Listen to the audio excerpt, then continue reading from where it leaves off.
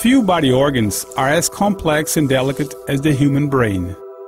That's why science is increasingly committed to unraveling its mysteries.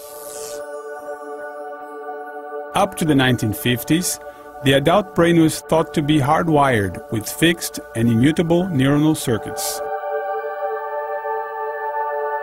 The discoveries made so far as to how the brain grows and develops are surprising and astounding.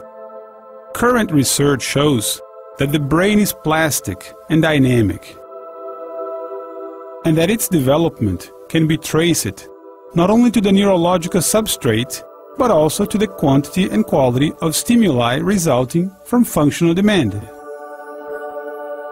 This plastic property of the central nervous system is referred to as neuroplasticity, the underlying structural changes brought about in response to a wide range of experiences. Each new learning experience forces the brain to reorganize itself, forming new connections, these new experiences become embedded in the memory of the individual. Image quality depends both on the input received through the eye and on the processing that takes place in the visual cortex. Based on this new concept of neuroplasticity, a new treatment was devised visual perceptual learning. It relies on visual stimulation and the improvement of neural connections responsible for vision. The software package we used was Neurovision Correction Technology. Neurovision uses an internet-based, computer-generated visual training exercise regimen using sets of patient-specific stimuli based on Gabor patches to sharpen contrast sensitivity and visual acuity, as described by Polat and Sagi. The science behind neurovision is one of neuroadaptation, which promotes special interaction between specific neurons. Neurovision was approved by the FDA in 2001 for the treatment of amblyopia, till then deemed irreversible. Clinical trials have since been underway for cases of myopia, presbyopia, and post-refractive surgery.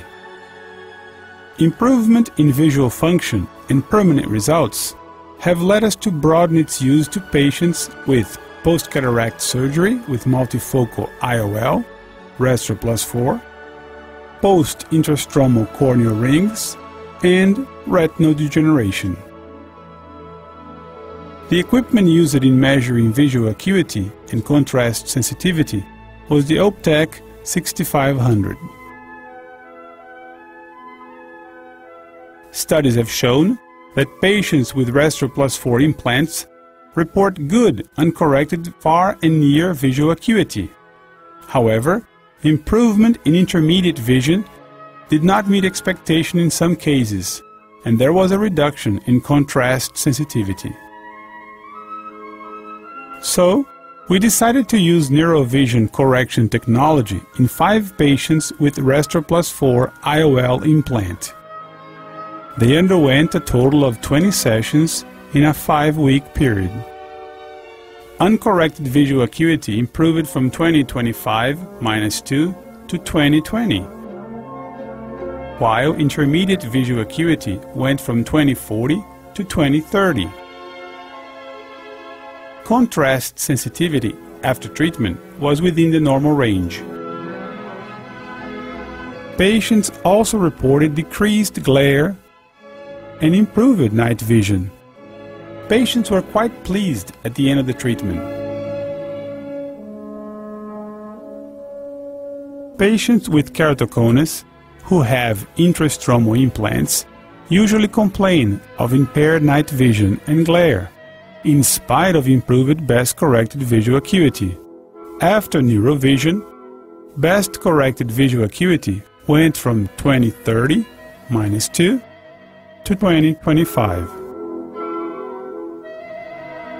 Look at the remarkable improvement in quality of vision.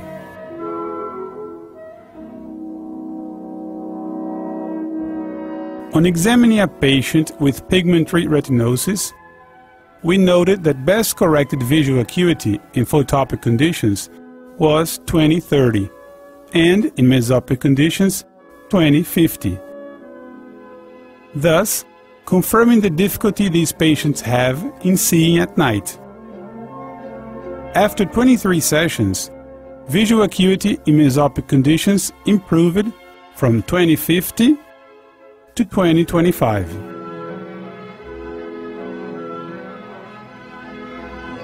Greater contrast sensitivity and improved night vision made activities such as driving and strolling at night a lot safer. The results obtained so far have been encouraging. Mean visual acuity, contrast sensitivity, and main functional outcome have all improved significantly for the cases we assessed.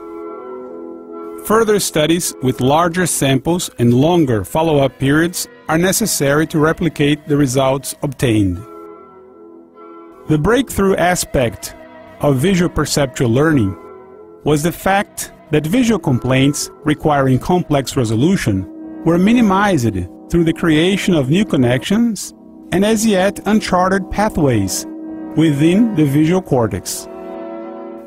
This promising new technique represents a conceptual shift in the approach to several eye diseases.